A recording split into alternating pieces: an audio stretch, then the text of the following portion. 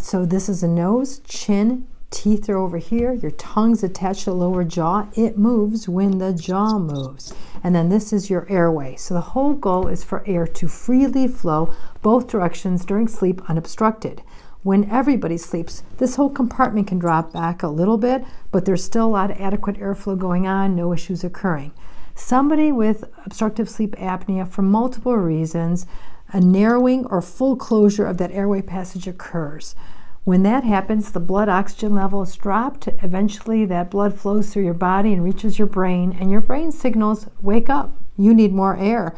Get out of your deep sleep so that that can happen, and airflow begins again uh, your body blood oxygen levels happier until you are relaxed again and again and again. And this is that cyclical nature of apnea, and this occurs anywhere from five times an hour all the way to 60 and more times per hour.